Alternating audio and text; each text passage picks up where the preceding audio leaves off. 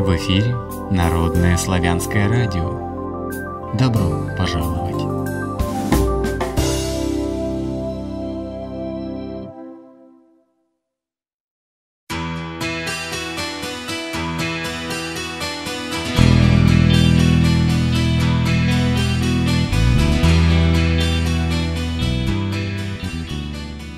Мира и добра, уважаемые слушатели Народного славянского радио. Программа «Пространство женщины». Я Елена Андреева, моя собеседница Екатерина Нагаева, создатель проекта «Здравствуй, человек», консультант по осознанным родам и беременности. Приветствуем вас. Здравствуйте, дорогие радиослушатели. Здравствуйте, Елена. Здравствуй, Екатерина. Мы продолжаем цикл передач по осознанным родам и беременности «Почему не приходят дети?». И вначале мы напомним нашим слушателям о том, что мы проходили в прошлых наших программах. Это мы прошли уровень Творца, на котором все всем дано. Мы прошли звездный уровень, на котором дети выбирают себе родителей и э, учат родителей совершенствоваться, повышать свой духовный уровень развития. И сегодня мы расскажем, что происходит с душой ребенка на уровне родов.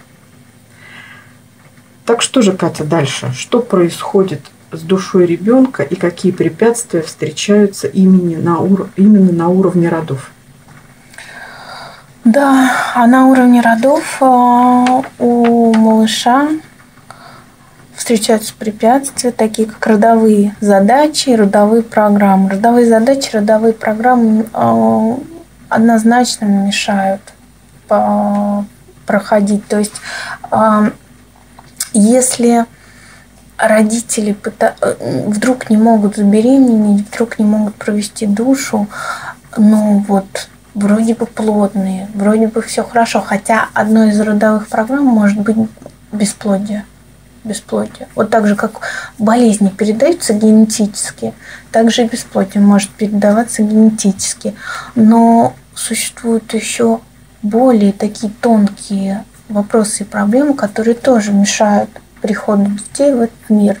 Ну, например, э, там неприятие мужчин, ненависть к мужчинам в женском роду, либо э, непринятие женщин и мужчин. И тем не менее это очень сильно будет влиять, во-первых, на пространство любви в паре, на, на пространство благостное для прихода малыша. И как следствие, так как пространство. Что такое пространство? Это тот аэродром, куда должна приземлиться душа. А если это этого аэродрома нет, то самолет не знает, куда ему садиться, даже огоньки нигде не мигают. Вот, поэтому, конечно, родовые программы и родовые задачи важно преодолевать.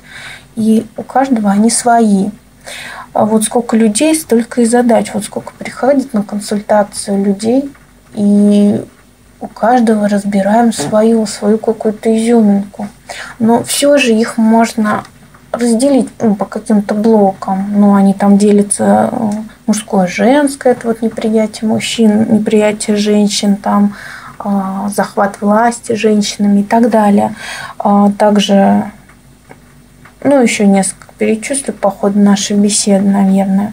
Но, тем не менее, род небесный очень связан с родом земным, и Род, конечно, должен продолжаться. Это задача Творца, задача небесных сил, светлые, сил светлой Нави, там, Праиславии, э, задача каждого рода и наша задача. И это заложено ну, во всем, даже на телесном уровне. Понятно ты говоришь, что род небе, небесный, род земной, вернее, должен обязательно продолжаться. А вот что, если рождаются только девочки? Вот у меня, допустим, мама была пятая в семье. И, соответственно, у нее было четыре сестры. У нас, у их детей тоже практически вот одни девочки. Что тогда происходит? Что это значит? Да, действительно. А, хороший вопрос. Вопрос хороший, потому что, да, девочка же не, не продолжает род, она продолжает род чужой, ну, не чужой, а она входит в род мужа и продолжает прежде всего его род. А вот если рождаются одни девочки, то род, э, тем не менее, он затухает. Но он как затухает? Он отдает силу. Он отдает силу в другие рода. Он сам по себе никуда не, не исчезает. Ну, вот чисто энергетически, чисто вот там на уровне родов он никуда совершенно не девается. То есть а, да вообще ничто не может потеряться. Даже если вот э, совсем детей не рождается, все равно этот род, вот, ну, он просто обрывается, но как веточка он живет. Ну, энергетически чисто он все равно существует.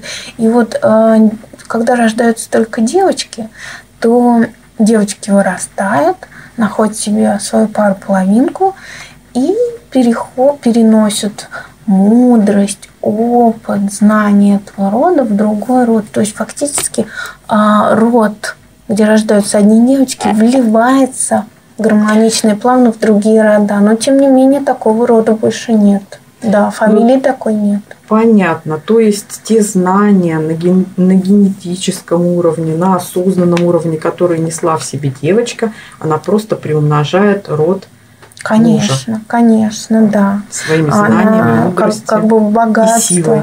На тонком плане это вообще выглядит так, когда э, вот э, делаются какие-то обряды, но обряды э, их же надо делать осознанно, понимать, что еще происходит. Осознанность это наоборот возрождается. И вот сейчас новые совершенно у нас вот поколения, я имею в виду уже, вот, которые там женятся, осознанно идут в ведической традиции, они уже осознанно пытаются э, проходить эти обряды. А до этого все утерялось, и люди совершенно неосознанно не понимали, что такое вот подарок, там, приданное там, и так далее. Да? Там много символов а, которые женщина брала из своего рода и переносила в другой. На тонком плане это выглядит, как будто она вот сундук с богатствами взяла у своего рода и принесла, поклонилась роду мужа и отдала, и род с любовью и радостью отдал, а тот с любовью и радостью принял этот опыт у женщины.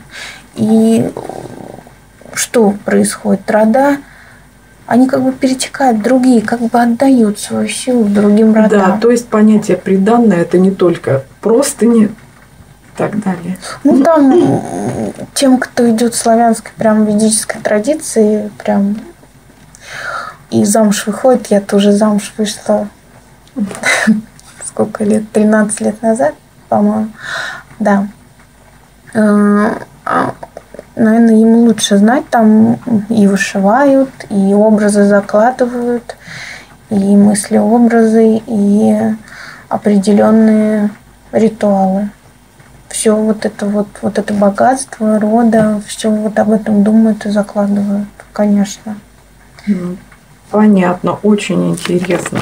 Ну, знаете, вот этот род, который эм, ну, можно сказать, да, мы говорим растворяется. Том, что ну, вот нет такой фамилии. перетекает. Да, да. Что? Вот этот род, он все равно рад и счастлив, что там ребенок родится у того отца, и он все равно будет нести часть вибрации этого рода, понимаете? То есть клеточки останутся там, кровь Ну, клеточки там это физический такой останется. процесс, а вот и именно информационный вот этот опыт, мудрость рода, она просто перетечет, и этот род будет счастлив все равно от того, что что-то ветвится с его вибрациями и с его энергией. Наверное, то же самое происходит, когда э, берут детей. Да, мы говорили в прошлых наших передачах, то же самое да. происходит. То есть да. род не затухает, э, если он понимает, э, что нет детей, нет продолжения, не дано по каким-то причинам, по заболеваниям, и берут себе приемных детей. То же самое происходит, да? Да. Но если берут мальчика, то он и продолжает этот род. Но мальчика нужно взять и обязательно усыновить и сделать его своим. Фамилию дать. Фамилию дать, сделать. То есть вот институт приемного родительства, когда берут, просто воспитывают под его же фамилией, под, под ну, там, ну, за деньги там, и так далее. А, не пойдет. То есть нужно фамилию дать обязательно ребенку, нужно в рот его впустить, открыть, а, кто там знает какие-то ритуалы, обряды, а, впустить, чтобы человек вошел, ну, малышок-то вошел в этот род. И тогда он несет, он продолжает, он является продолжателем этого рода. У меня вот интересная ситуация вообще вот в моей жизни. А, мы с братом усыновленный он, я удочеренная. Вот, то есть мой брат совершенно из другого рода продолжает другую фамилию. Сейчас у брата родился мальчик. В чьем он роду? Вопрос. Хотя носит фамилию нашего отчима. Mm-hmm. Нас установили, удочерили в достаточно осознанном возрасте. Мне было 10, ему 13. Поэтому мы все это помним, и мы не забыли, да? И вот мы э, там с братом садились и думали, а в каком же он роду, а потом вот так прям вот чувствование вот такое включили и поняли, что действительно тот род затух, вот, ну, он перетек, он перетек в более сильный род. Вы представляете, не только девочка может уйти и перетечь, а оказывается и мужской род – может перетечь. То есть а, вот фамилия Гольцев у нас была, род Гольцев затух, там нет больше мальчиков. Мой брат взял другую фамилию. Мы с братом имеем силу двух родов, чувствуем прям поддержку и рода Гольцевых, и рода Яневатовых, которые вот э, ну, Максим до сих пор носит его, ну, эту фамилию. Ну, а я, соответственно, ушла в род мужа. Вот. И вот тот род Гольцев, он, получается, отдал силу на более сильный, на более живучий, на более нужный род. И этот род продолжился. Причем тоже этот род затухал, но мы трудились, трудились с братом, он, у него умер сын, потом он долго не мог иметь детей, тем не менее родился Русланчик. И это, это чудо, это вот прям зачет. Он, когда родился мать, когда она забеременела, я была счастлива его жена, потому что мы долго над этим трудились. Да, не могла она забеременеть. Ты рассказывала в прошлой да. программе об этом. Да, а когда еще родился мальчик, я там вообще вот это, я вот прям чувствую, отец с того света, зачет, молодцы. Ну, молодцы. Ну, конечно, надо задачи теперь Максиму воспитать, воспитать сына, посадить дерево. Но это задача уже в паре, да? Да, Именно да, пары. да. Ну, а... мы трудились над тем, чтобы пришел малыш, а так уже, конечно, пусть вот. в добрый путь им. Да, и хочется вот узнать, а как же влияют э, на приход души именно вот отношения в пару мужчина-женщина? Что это? Ну, прям напрямую влияет. Вот прям вот как напрямую. Вот э, ребенок это произведение искусства пары. Прежде всего, произведение искусства.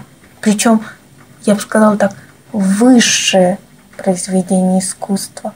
Высшее сотворчество сад с Творцом, высшее сотворчество пары. А душа – это источник знаний всегда более высокого уровня.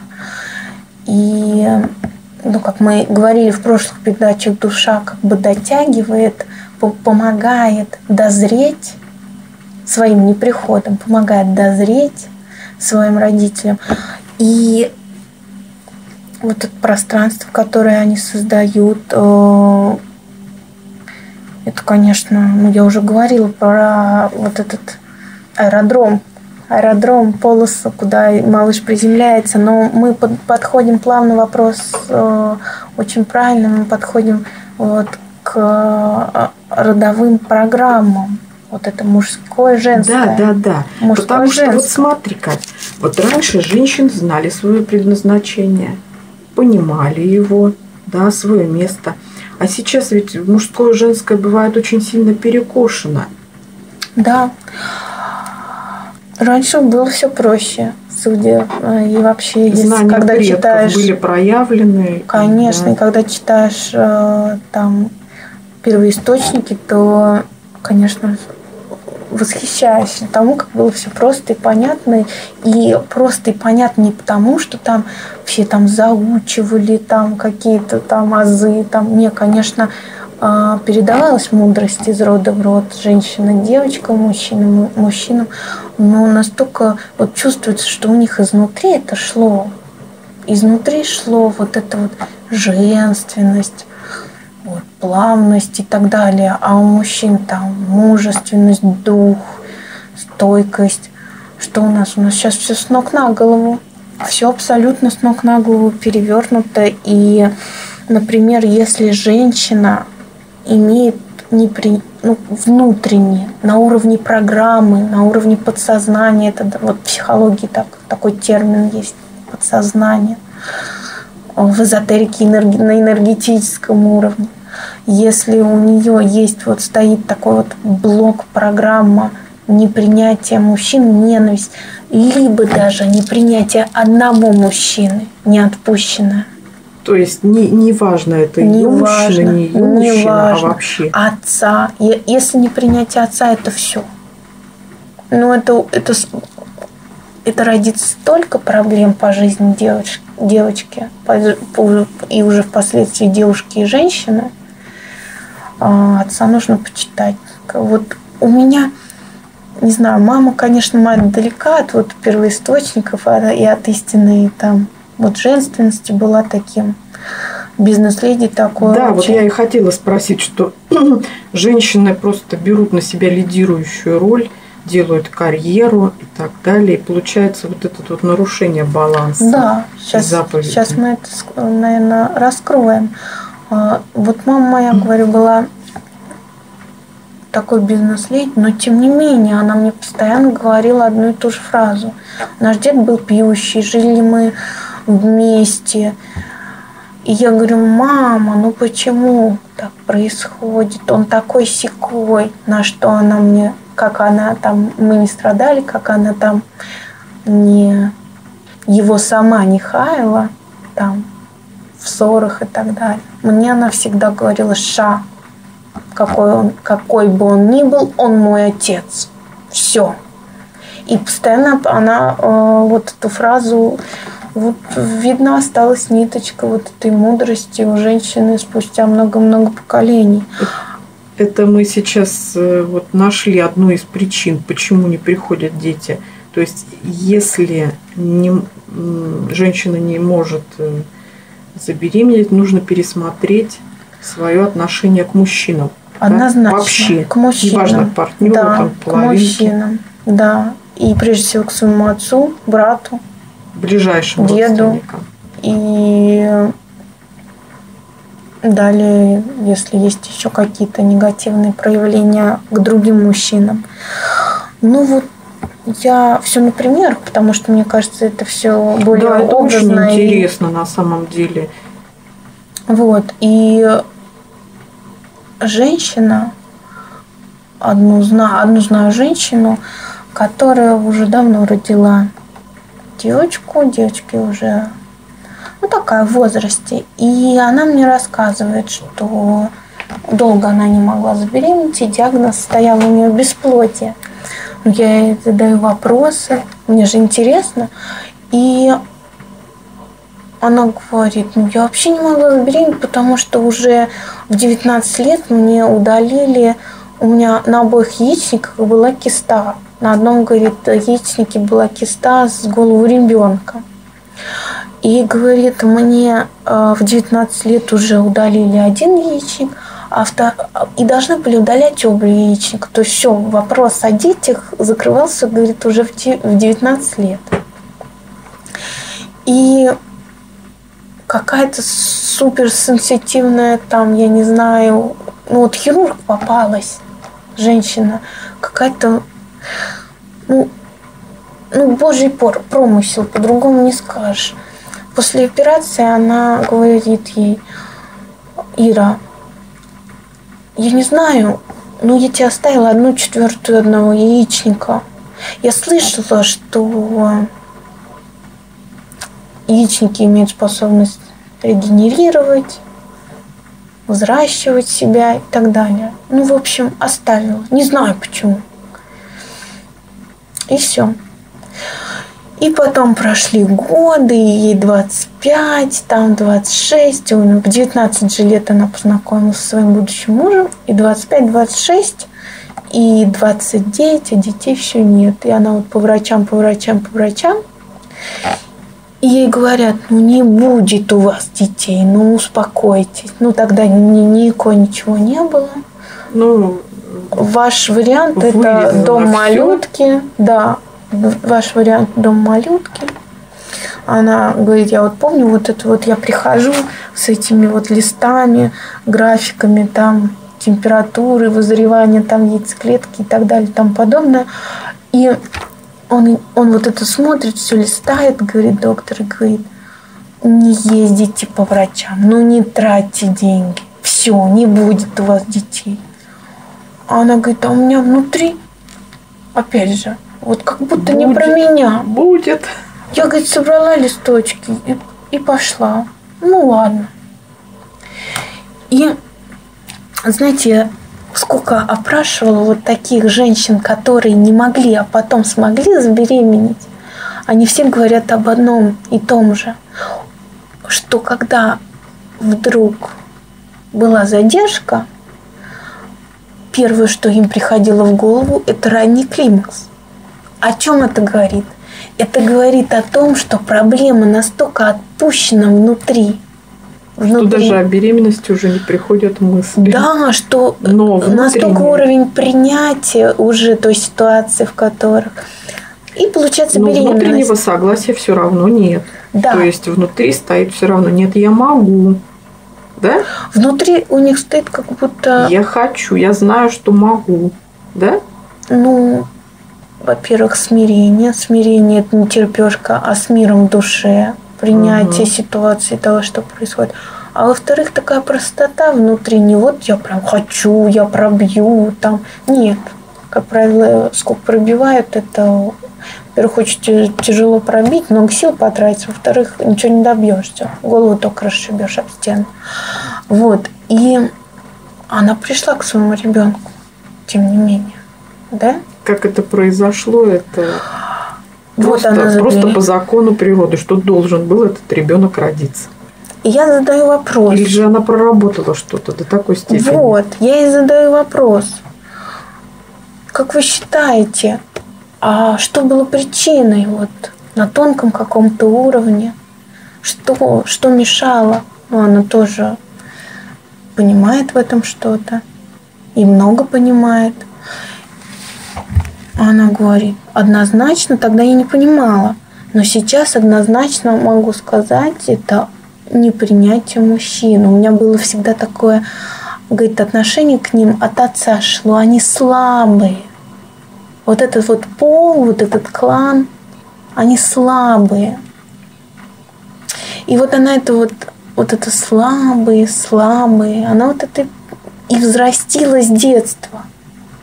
То есть фактически э, киста-то пришла в достаточно раннем возрасте, 19 лет, а уже она такая огромная. Это внутренним состоянием взращенная вещь. А это было именно внутренним, или все-таки это было уже влияние а, рода земного, родителей? Родительские наставления, наветы, Конечно. заветы. Конечно, это, во- во-первых, девочка растет, и раньше, как было у предков, девочка впитывала мудрость, образы своей мамы. Также и сейчас мы впитываем программы, задачи нашего рода, на чем весь род наш спотыкается, на том и мы должны споткнуться. То есть мы выбираем, если мы активно не работаем, если мы активно э, с собой не трудимся, себя не очищаем, пытаемся осознать много. То есть нужно возвращаться к истоку именно женщины, женственности, пересматривать формат Конечно. свой бытия Мы и занимать свою женскую позицию. однозначно, однозначно, вот это, э, ну вот эта женщина, у нее, конечно, мама вкладывала ей определенный образ. Почему папа слабый? Потому что мама сильная. Мгм. А почему, ну, как она это видит? на определенных каких-то действиях. Как правило, а, такой папа, где мама сильная, еще и пьющий. Пьющий, Ну, слабый. о том, почему мужчины пьют, почему мужчины уходят в иную реальность, это отдельная тема. Ну, совершенно, да. Очень актуальна. Кстати, у меня уже была такая заявка, что вот светите, почему вот такие бывают. Но это э, совсем другая тема. Вот. А скажи, Катя, пожалуйста, смотри, мы вот рассматриваем женщину. Женские вот эти вот перекосы. Но у мужчин же тоже бывают вот эти перекосы. Конечно. То есть он не только может пить, он может как-то по-другому реагировать на то, что женщина занима, заняла его место. У мужчин сейчас прослеживается активно программа из рода в род побега от ответственности и потери духа. А почему мы сейчас, вот сейчас там активно говорят, там женщины же и говорят, мужиков мало, не из кого выбрать, трам-пам-пам. А как, а как же они будут, когда с детства фактически мать уже эту с помощью там тотального контроля мальчика, с помощью его там задавливания, такая властная мамка, она убивает этот дух в нем, убивает. И мужчина уже растет, он, ему очень сложно научиться. А как раньше было у наших предков? Мать не имела права воспитывать мальчика. Насколько я это чувствую, насколько я вот читала, женщина могла только папе сказать. Мальчиков воспитывал отец. Однозначно. Это зона влияния отца была. И если разводы какие-то были, то мальчик однозначно шел к отцу жить. Сейчас, кстати, это сохранилось в Чечне. Вот я была в Чечне, и там, если развод происходит, то всех детей, девочек и мальчиков отец должен забирать, э, ну, должен забрать себе такой закон. А я вот размышляла над этим законом и думала, пыталась прочувствовать, а что это такое? А на самом деле все просто. Если у мужчины внутри есть мысль и чувство, и осознание того, что если что, он забирает детей себе, все дети, а у них там принято рожать и много, у них там ну, по много детей, все дети идут, то э, мысли о том, чтобы там, к примеру, завести какой-то роман, сходит на нет. Ну, чтобы развестись с женой. Так это получается, мы приходим Э, какому-то целомудрию, да, созданному именно вот законом рода, сохранению семьи. Конечно. Пространства. А, Пусть даже такие. А путем. женщина, а женщина тоже не будет смотреть ни направо, ни налево, потому что у женщины есть внутренние инстинкты и тяга к детям. Ей сложно расстаться с детьми. Поэтому на самом деле то, что семья крепчает от этого. А то, что сейчас у нас то в России учится, поголовно... Учатся, учатся решать проблемы семейные по-другому, да. помимо развода. Ну, конечно, развод это... Ну, это тоже немножко, немножко другая тема. Угу. Мы, наверное, отклонились. От... Ну, у мужчин, если тоже есть... Вы знаете, если мальчика с детства давила мама, то у него и будет непринятие женщин. Непринятие женщин, страх. И рождается такая ситуация, когда мужчина становится альфонсом. Мужчина становится альфонсом либо под, подкаблучником. Бывает и такое. Но тем не менее, сейчас задача осознанных мужчин и осознанных женщин, которые стремятся и которые слушают такого рода радио и читают такого рода там источники, и как-то идут в развитии, как-то пытаются совершенствовать свою душу и дух, они, конечно, первым делом пытаются изменить себя. И если женщина вдруг видит, что она ведет себя как-то не по-женски, как-то там неплавна и так далее, в женственность включает в себя много абсолютно. То есть это мы сейчас отвечаем на вопрос, что же делать, да? Да. Если вот такие Да. перекосы какие-то существуют, то есть вот такие вот элементарные вещи, когда нужно обратиться к источникам и мудрости предков. именно. А мужчинам прежде всего надо э, трудиться над тем, чтобы опять стать в дух, занять позицию лидера в семье и человека, который выбирает вектор движения для своей семьи, вектор развития. Это мужчина. Мужчина это всегда движение, мужчина это всегда цель, мужчина это всегда творение, это Ну, а- творец. о, том, как мужчине встать в дух, наверное, нужно спрашивать у мужчин, опять же, да? Конечно, конечно. То есть кто владеет этими знаниями.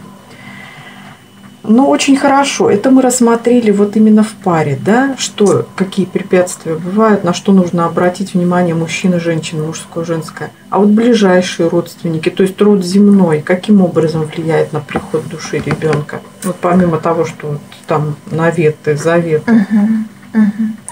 Тоже очень сильно влияет. Вот род земной, который там мамочки, папочки, они бабушки, дедушки будущие, они влияют опосредованно. Но влияют, тем не менее, а, влияют. Ну, то есть не так, как пространство любви, если пара не складывает. Но сейчас поясню. Вот, к примеру, самый лучший а, та- противозачаточной таблеткой является фраза «Вот только попробуй в подоле принеси». Вот если девочки говорят такую фразу, это, это лучшая противозачаточная таблетка через страх. Это Страх- уходит страх на рождает. подсознание, Запрет. и потом уже концов не найдешь, где в тебя зашло и почему ты не можешь иметь детей. Поэтому вот когда вдруг родителям нашим, ну, бабушкам, дедушкам, будущим, вдруг не в радость появления ребенка, сюда тоже стоит заглянуть. Но заглянуть с какой стороны? Если нам когда-то это говорили, это не повод сейчас обвинять, совершенно не повод. Почему там они так говорили? Потому что уровень сознания другой, потому что жизнь была другая, потому что в другом мире росли, мире, обществе, социуме и так далее. Вот я, к примеру, маме сейчас рассказываю про какие-то знания, открываю ей какие-то книжки, и она вот смотрит на меня вот такими глазами по 5 рублей и говорит, боже мой, вот если бы тогда это было, вот если бы тогда я это нашла, Ну, Катя, я даже сама с этим соприкасалась несколько лет назад, понимая, что те знания, которые ко мне сейчас приходят, вот если бы их немножко пораньше получить. Да, я согласна с этим. Ну, вот а, немножко еще расскажу, немножко коснусь а, такой темы сложной, сложной. А, вот про те программы, которые я говорила, родовые, которые нужно решить, они еще и бывают от темной нави. Программы, в которые нас сидят, бывают от темной нави. Поясню. Например, существует такая программа «Антипуть» у мужчины и антижизнь у женщин. Что такое антижизнь? Это как раз э, вот физическое уничтожение рода. Женщина, как бы сама того не желая, Подсознательно. подсознательно своими словами, действиями энергии прекращает род. А как это выражается? Вот, к примеру, в той же и фразе «в подоле не принеси». То есть чаще всего это женщина все-таки произносит, да, мама дочки. То Конечно. есть у нее страх. э, Так, ну, ты знаешь, а, женщине-то кажется, что она наоборот творит благо, да, то есть она старается защитить свою дочку от преждевременной беременности, от преждевременного там выбора партнера полового, э, раннего созревания кажется, полового. Ты, ты сказала, Лен, ключевое слово «кажется». Ну, у православных по поводу кажется говорят однозначно. Если кажется, нужно перекреститься. Но если мы стремимся к осознанности, и если мы э, трудимся в этом направлении, то приход ребенка – это всегда великое благо. Великое благо и великие дары, и великое благословение вообще Творца, родов. И вообще нужно только восхвалять, радоваться, быть счастливым, прыгать.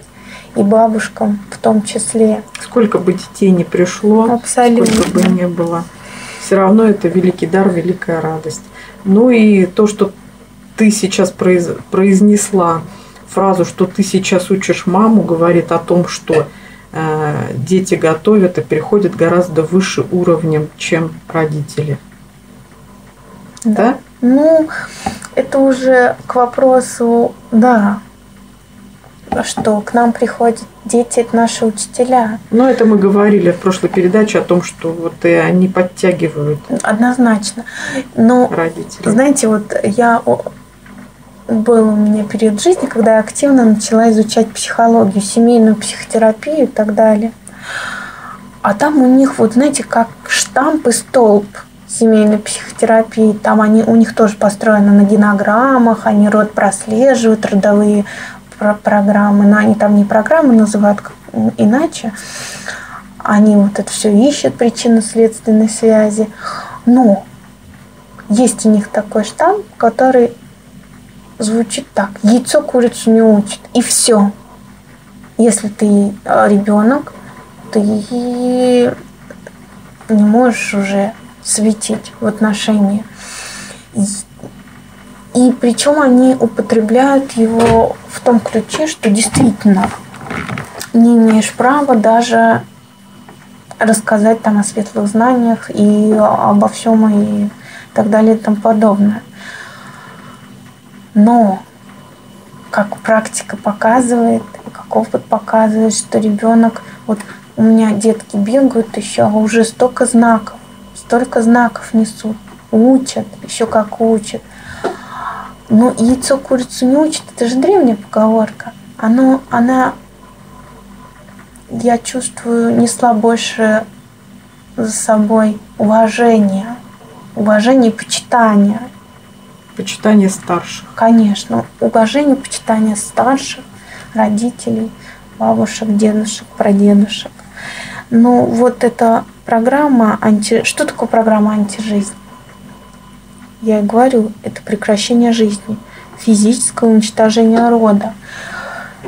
И постепенно, постепенно мы это и наблюдаем. У женщин все чаще проявляется программа властной матери, вот этой антижизнь, властности, властной. А у мужчин все чаще проявляется программа антипуть. То есть мужчина заблудший, который не указывает вектор, который не лидирует в семье, а, не ему выполняет свое предназначение, да, получается. Ему мужчина, сложно да? нащупать свое предназначение. А предназначение это великая вещь с точки зрения даже славянских, э, не даже, а в первую очередь с точки зрения а, славянских знаний. То есть, как там говорится, что душа получает как бы путевой листочек каждая с тем предназначением, которое она должна вып- выполнить на этой земле. Получить зачет. И получить зачет, да, и вернуться опять там к Творцу. Потом впоследствии, пройдя через все миры славе и праве, вернуться к Творцу. Сделать круг. А по факту? А по факту, что мы видим? Что женщина берет и говорит – что ты работаешь там военным? Ты ж копейки домой приносишь. Увольняйся к ядрене фини, работа опасная. А, иди трусами торгуй, к примеру, да, очень прибыльно. Очень прибыльно. Выручка в три раза больше, чем у тебя. И мужчина постепенно вот это жу-жу-жу, жу-жу-жу. И если он не в духе, когда он кулаком по столу стукнул и сказал, Ша, я знаю, где мой путь. А твоя задача меня поддерживать, вдохновлять, воодушевлять на мой путь, на мое предназначение. И нам дано ровно столько, сколько нам нужно для его выполнения. Если мужчина в духе, у женщины шансов не остается. Но... Женщина всегда это чувствует интуитивно. Но проблема вся заключается в том, что женщины воспитывают мальчиков. И в духе мальчикам, которые, которые уже выросли в мужчин, осознанным даже мужчинам, взрослым, сложно встать в дух. Причем, знаете, на каких-то мероприятиях, на каких-то там сборах, хороводах, ритуалах мужчины там мух в круг становятся. Я дух, я дух, да, говорят. А придя домой, происходит перевоплощение. Сложно удержать. Попадает в пространство женщины, в привычную сферу да. и уходит да. наработку только что вставшего. Ну, что далеко ходить? Я могу рассказать про себя. Ну, поделись, Настолько пожалуйста. у меня была сильная программа вот эта вот антижизнь, а, передавшаяся мне от сильной, мощной мамы, что мы уже находясь там в знаниях ведических, там не могла я пересидеть. Вроде осознанно я делаю, вроде осознанно я живу, сотворяю, как я думаю, становлюсь вроде, а фактически менял только свою внешнюю оболочку. Внешнюю. Не только внешность, там, вот я и а, хотела спросить, как форму, это выглядело. И форму и стиль одежды, а я типа такая плавная, я типа такая нежная. А качество, но... то есть нарабатывала просто женские качества какие-то, да? Ну, все равно видимые, угу. видимые, а внутри такой, ух, стержень. И стоило там что-то Миша мне сказать,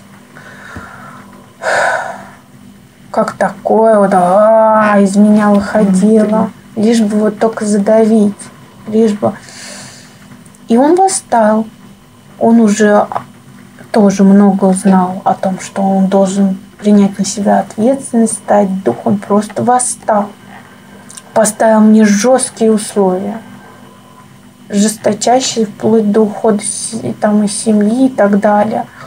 И вот тут пришлось там себя как-то там заводить, свой там пароход – поезд. Это мы сейчас паровоз. отвечаем на вопрос, что делать. Да, да. Что делать э, Пришлось... женщине, когда встает э, эта программа антижизнь, и что делать мужчине, когда встает программа антипуть? Мы ну, сейчас отвечаем например, на эти вопросы. Да, да, на моем примере там, конечно, есть много нюансов. Если там вы будете трудиться, там делать передачу на этот счет, там будут много о чем здесь говорить.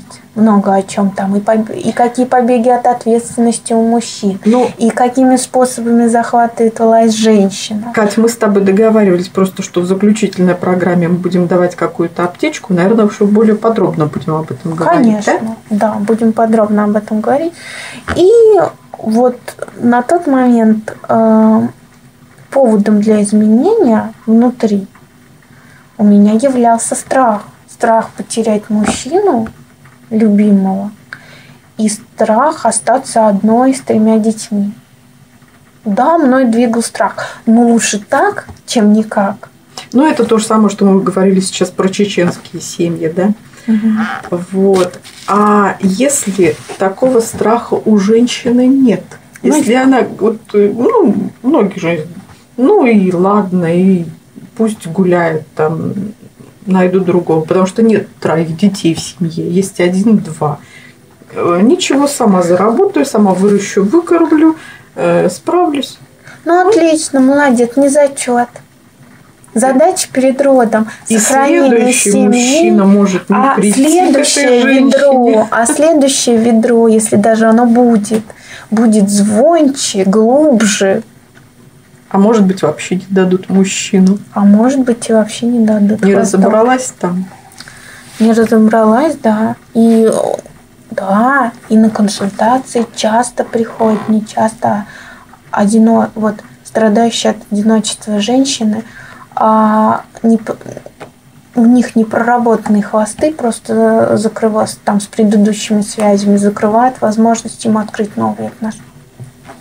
Новые отношения закрывают возможность. И знаете, что я хожу, скажу, возвращаясь к роду, к бабушкам, к дедушкам? Я скажу одно, что нет таких обстоятельств в этом мире и на этом свете, когда приход души не в радость, приход малыша, ребеночка не в радость. И если вдруг вам не в радость, то ищите у себя программу антижизнь, уничтожение рода. Это бабушкам, вот, дедушкам полезно услышать. Да, я современно. А, уже будучи вот совершенно недавно, буквально этим летом, мне было тяжело, и я там говорила жене брата, что мне так тяжело, ну почему мне моя мама вот даже не энергетически не поддерживает. Вот ни одного ребенка, который я там беременела, не хотели. Ну, понятно, сейчас всех любят в своем малыше. Как, как их возможно не любить? Ну, почему? Почему мне так тяжело? Никакой поддержки, даже, даже вот душевной, энергетической не, не чувствовала я. Сейчас, конечно, получше. Она мне говорит, ну что ты хочешь, если бы у них был твой уровень развития, наверное, у тебя было побольше братиков и сестер. А я считаю, и мои вот это, мое чувство не основано на, наверное, на старых каких-то знаниях, что раньше как растили всем родом, всем миром, такое счастье. И будучи мама, она единственный ребенок в семье, а вот ее мама, моя бабушка, она девятый ребенок в семье. Кстати, меня назвали в честь той а, моей про бабушки, которая родила девять детей. И мама, когда мне говорит, ну, типа, куда? Куда ты? Я говорю, мам, ты меня в честь кого родила? Ты меня в честь бабушки Кати родила. Вот когда я буду носить десятого, вот ты можешь тогда мне сказать, ну куда? У нее же было всего лишь девять. Очень оптимистично, да, Катя. Да, да поэтому... Всей души желаем тебе, чтобы так и было. Пусть смиряться с это и радуются. Но я все-таки считаю, что если бабушки и дедушки нас какие-то слушают, радуйтесь, радуйтесь приход детей, как бы они ни приходили. Слушают, обязательно слушают. Как бы они ни приходили, а, абсолютно. И в каком возрасте они не приходили а потом уже разбирайтесь. Ну, Кать, мы же знаем, что сейчас все эти знания, эта мудрость, они начинают просыпаться в людях. Люди становятся все более осознанными, люди и пробуждаются. Это, это эпоха наступила новая, когда пора пробудиться и вспомнить все эти знания, которые мы принесли. И это радует. Это, конечно, очень прекрасно, что сейчас все иначе. Я говорю, вот прошло сейчас время, и моя мама тоже позвонит и спросит, как дела, и чувствуется, что поддержит, и свекровь включилась как-то. Наверное, надо было просто мне, не наверное, а точно надо было просто отпустить, что вы мне должны помочь. Так было всегда. Вы просто забыли это. Да, да. Ну, я просто это отпустила, и все. И общайтесь, общайтесь по вашей по вашему желанию со своими внуками. Кать, есть что-то еще сегодня сказать про сегодняшнюю тему, про причины неприхода детей на уровне рода? Да, мне знаете, что хотела бы сказать, что вот мы сегодня не очень оптимистично а, говорили про программы и программы темной нави, когда при, приплетаются, это звучит так грубо сказать, устрашающе, но тем не менее волнующе. А, многие могут задаться вопрос, а что делать-то? Вот что делать? К примеру, вот мне мама говорила, а я не понимаю. Вот у меня нет детей, но мне мама так говорила когда-то, а вдруг это является одним из пунктиков а, того, почему у меня сейчас нет их. Но я скажу однозначно, что, во-первых, ни в коем случае нельзя обвинять. Это уровень развития той мамы, которая была тогда. Я вот некоторые мам, маме говорю, мама, ты помнишь, что мне вот это говорила? Она говорит, я? Я не могла такого сказать. То есть реально человек даже вот в том состоянии он был, в каком-то одержимом, да? Сейчас он уже не помнит.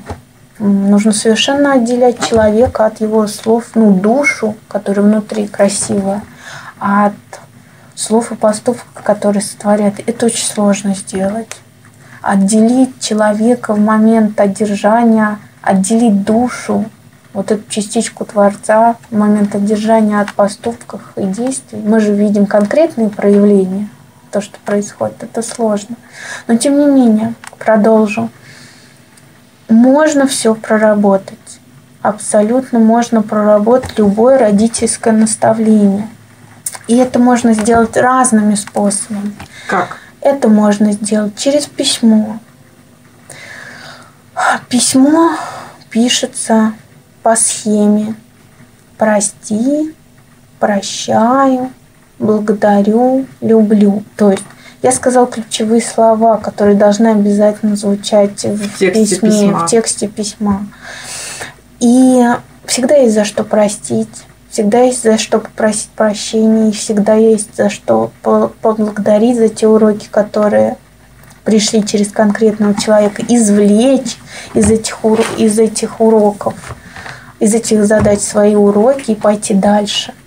И всегда можно простить и полюбить без условий человека. Абсолютно всегда, если есть желание. Так вот, в письме, что мы делаем с помощью письма? А, то, что написано пером, не вырубишь топором. Мы просто открываем свою душу через письмо, через разговор с человеком. Можно и не отдавать. Нет, конечно, лучше отдать, но не первое письмо. Конкретному человеку нужно писать письмо там, до трех раз, а то и до плюс бесконечности, пока оно не будет гармоничным. А еще нужно писать письмо своей душе, нужно писать письмо своему телу. Почему ты, миленькая, не хочешь мне ребеночка выносить, да? Да, потому что тело это наш а, ближайший и лучший друг. Оно всегда показывает все наши негармоничности внутренние. Нужно написать письмо своему телу, опять же, по, там по этой схеме. Ну, потом я, может быть, подробно остановлюсь. И родительские наставления также отрабатывают. Также родительские наставления, вот именно тот негатив, который несут эти родительские наставления, тот негатив, который зашел вовнутрь, отрабатывают с помощью древнейшей славянской технологии писанки и мазанки. Это как? Что такое писанки Подробнее, и мазанки? Да. Подробнее. Не знаю, наверное, сразу не будет понятно, но э, я думаю, в интернете все най- най- найдете. К примеру, Арина Никитина у себя на сайте это очень, по-моему, раскрывает хорошо. А также ну, эта технология хорошо описывает мазыки. То есть рецепты существуют? Рецепты, конечно, существуют, но писанка-мазанка что такое? А, плохое настроение было, у кого-то плохое горе там и так далее, приходили палочкой по воде, подписали, вот так поводили палочкой по воде и скинули плохую энергетику в воду. Мы то же самое делаем сейчас на листе бумаги. То есть мы пишем наверху свою фамилию, имя, отчество, э, число. Дальше мы пишем прорабатываю родительское, родительские наставления. И отчеркиваем прям линию. То есть отчеркивание линии значит, что мы входим, входим в проработку, входим, сейчас мы будем входить на подсознание.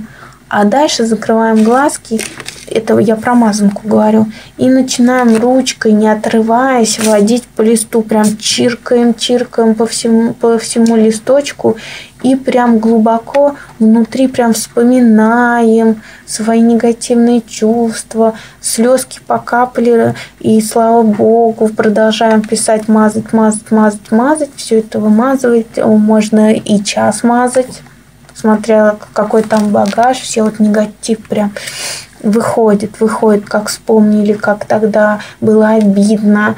Все чувства эти проходим и через ручку на лист э, выдаем. Все кончилось, чувствуется закончен. Прерывать это действие лучше не, не надо, поэтому нужно выбрать для себя время. Вот, это э, закончили, отчеркиваем внизу, то есть отчеркнуть обязательно, что выходим. А то неизвестно, куда нас подсознание завело. Неизвестно, куда мы пошли плутать по нашим внутренним путям и дорожкам. И внизу пишем все. Точка. Конец. Это означает, что все. Проработали, конец, отпущено. Берем мазанку и сжигаем. Придаем ее огню, ну, либо водичке.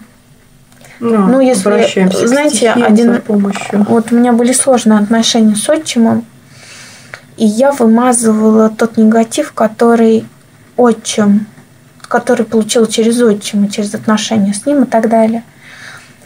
Вот это было моща. И первый раз я столкнулась с тем, что бумага не горит.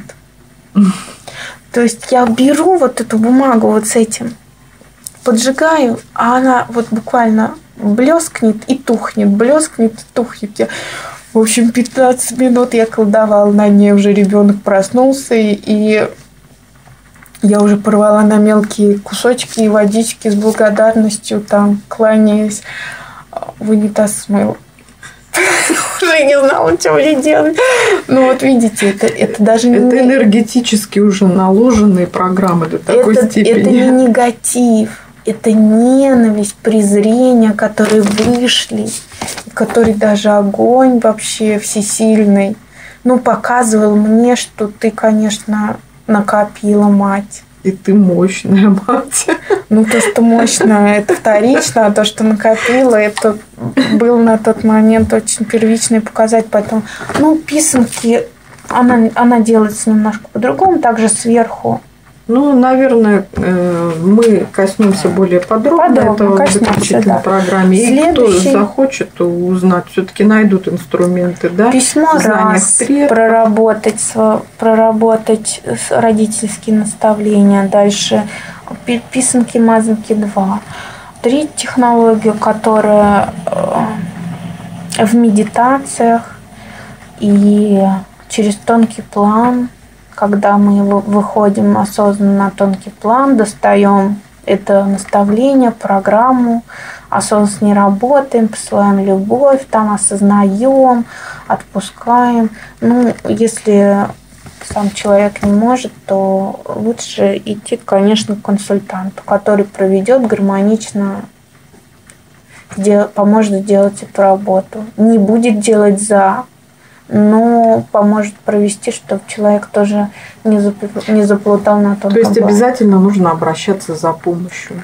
Точно так же. Ну, если не э, чувствуете себя, Точно так, так же, как ходят люди в больнице, обращаясь за помощью к докторам, точно так же обращаться за помощью к знаниям предков, к инструментам, которые владели наши, наши предки. Ну, конечно. Которые а наши предки ходили же там к ведунам, как их называли, которые изучали все рожи человека.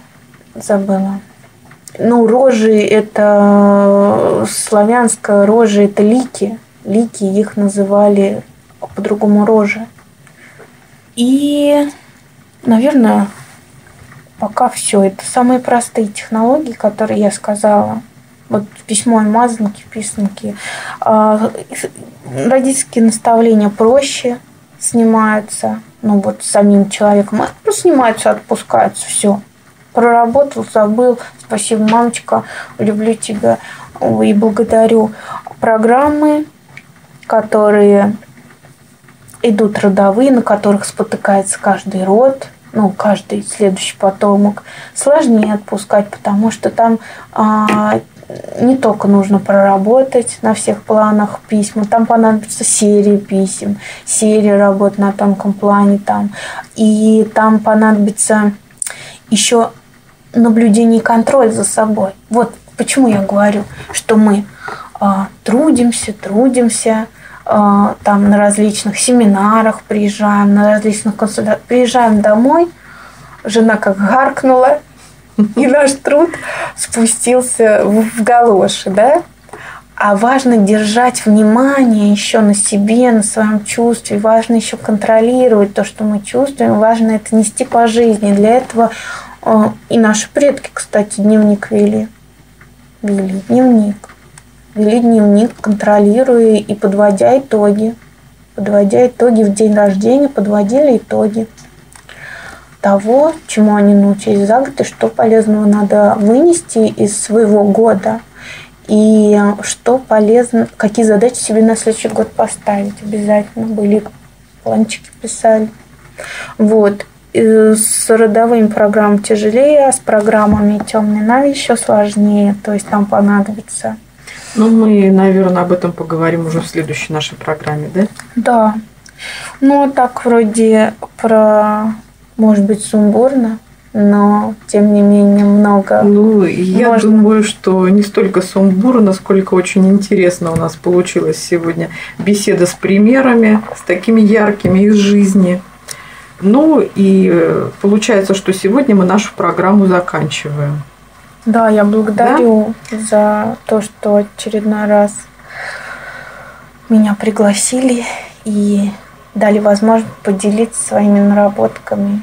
И не, не столько своими, сколько в сотворчестве с девочками, с Творцом, с родом. И появилась возможность нести это куда-то дальше. Благодарю большое, Лен. Да. И рад, ваша радиопередача. Да, напомним, что сегодня мы рассказали, что происходит с душой ребенка на уровне родов и какие причины мешают ее приходу. И в следующей программе мы обязательно продолжим нашу беседу с тобой, Катя. И о чем мы расскажем в нашей следующей программе. Следующую передачу я посвятила бы явному миру и как мы сами создаем себе кучу проблем вокруг как мы сами, плюс к тому, Реально что мы уже жизни. сказали, что есть э, существует звездный уровень, существует уровень родовой, родовые программы, а как мы сами еще можем за свою жизнь столько себе на колдошматить, налопатить, что и не можем разгрести. Мы поговорим про явный мир, да, как мы сами здесь, вот уже проявля, проявившись в явном мире, не можем забеременеть, и что мы уже сделали, чтобы не забеременеть за свою жизнь. И я бы затронула на следующей передаче «Навный мир», «Темный Нави», а, потому что там тоже сейчас не все так просто. Появились технологии от материалистического мира, так сказать, от ИКО, суррогатное материнство и так далее. Я не против этих технологий и считаю, что вообще не надо быть против них, но тем не менее они существуют, и нам нужно про них знать что, как они работают и какую энергетику в себе несут. Вот. Уважаемые слушатели, следите за эфиром, задавайте свои вопросы в чате Народного славянского радио. Благодарим вас. С вами была программа «Пространство женщины». Я Елена Андреева, моя собеседница Екатерина Нагаева. До следующей встречи. До свидания. Рожайте, любите своих деток и радуйтесь приходу малышей. Это прекрасно. Да, и пусть добро приумножится в вашей жизни. Мира вам!